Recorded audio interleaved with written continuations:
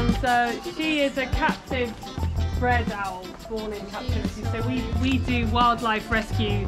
So we rescue animals that are born in the wild and we release them back to the wild.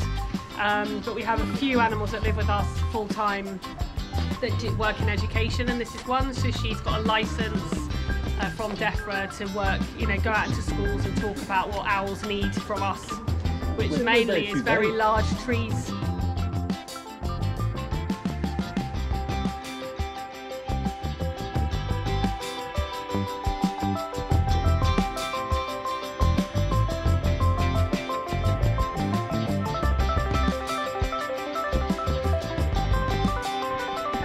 So Phylis is going to go back now her aviary.